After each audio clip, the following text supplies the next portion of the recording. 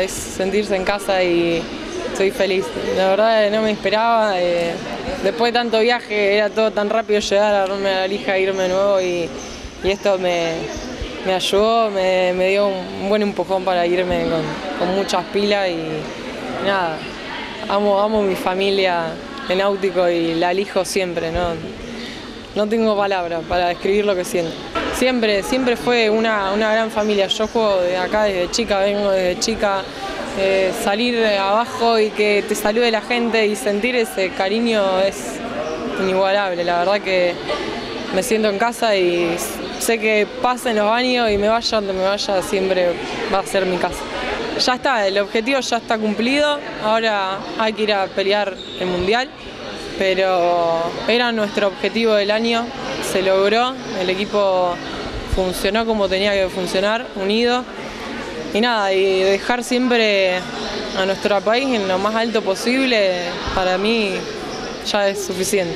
Y ya sabíamos que con un ser ganado ya estábamos, pero no alcanzaba, no alcanzaba, queríamos, queríamos todo, el equipo quería todo y, y eso se sintió desde el punto cero de que no era solo el set para ir al mundial, sino era todo, era ganar y único, la verdad que lo sentí cuando era menor y lo volví a sentir ahora y es una sensación que, no se puede escribir, así que nada, ojalá que el club siga con la misma gana de seguir formando jugadoras y que transmita lo que a mí me transmitieron, que es el amor al vóley.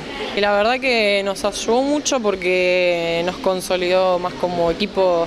Eh, no había que cada una se pueda ir a su casa, estábamos todas en Humahuaca, estábamos en las condiciones que estábamos, no hubo gira por Brasil, por Europa, como hacen todos los equipos para prepararse, son nuestras condiciones y supimos enfrentar la situación, salir adelante con lo que tenemos y la verdad que, eso nos caracteriza a nosotros como argentinos, con lo que hay, salir y ganar.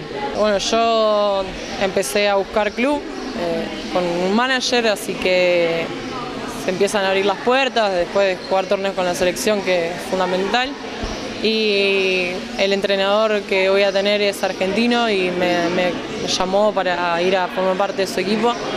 Así que nada, ni bien me enteré, yo tenía muchas ganas de irme afuera afuera y bueno, le di el ok. Ser la jugadora que, me gusta hacer. Eh, siempre soy muy autocrítica, me gusta mejorar siempre, eh, estoy predispuesta a cualquier cosa, lo que me toque y a dar lo que el equipo necesite. Así que voy a eso.